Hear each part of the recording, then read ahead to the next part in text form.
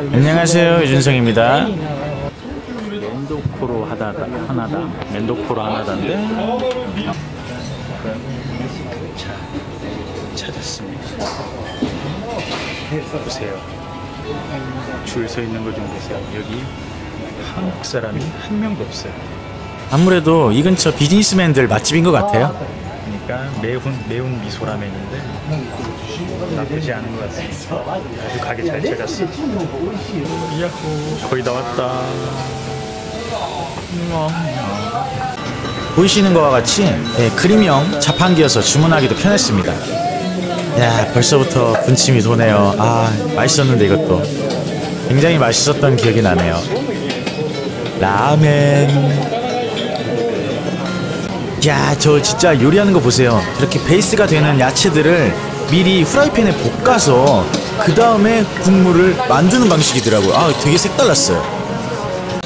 야, 이거 우와, 맙소사. 국물부터.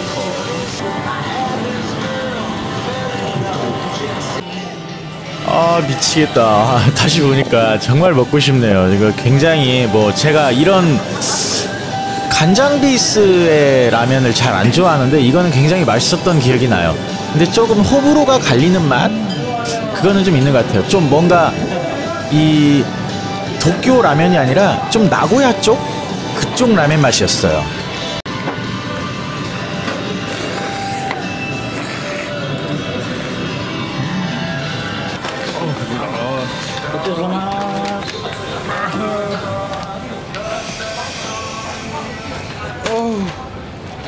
배불 러.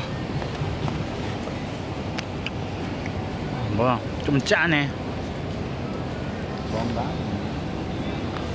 맛이? 어, 약간 볶음 국물에 라면?